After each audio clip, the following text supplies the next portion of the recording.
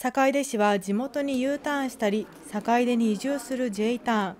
また I ターンすることで定住人口を増やそうと2013年から毎年のように坂出市就職フェアを開いています。去年も9回目を3月に予定していましたがコロナ禍で中止となり2年ぶりに第10回坂出市就職フェアを中央公民館で開催しました。今年は感染対策として事前予約制となり新卒の学生だけでなく転職を考えている人そして高校生も初めて対象となりました。参加した大学生の中には県外の大学に在籍する人も多く地元坂出で働きたいと考える人たちが積極的に企業を回って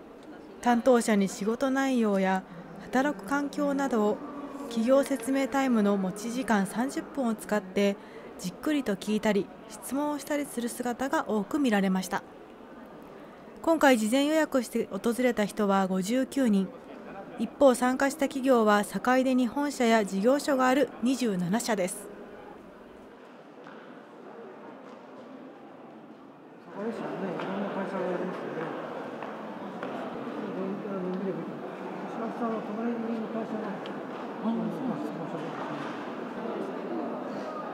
この就職フェアにはハローワーク坂出も共催として参加しており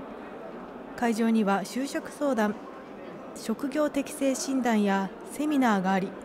セミナーには来場者の半数以上となる36人が参加するなど就職希望者に寄り添う工夫が好評でした。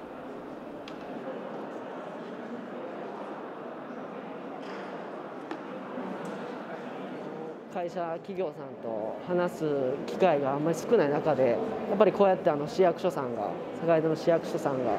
こういう機会設けていただいて本当学生からしたらありがたいですし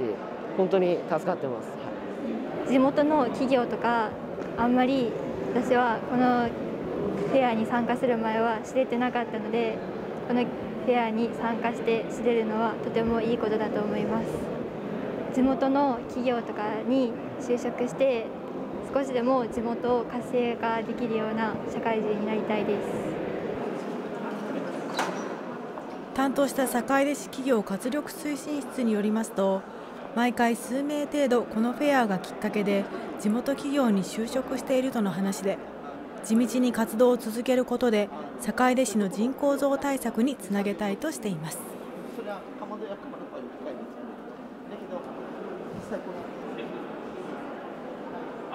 秒な20秒。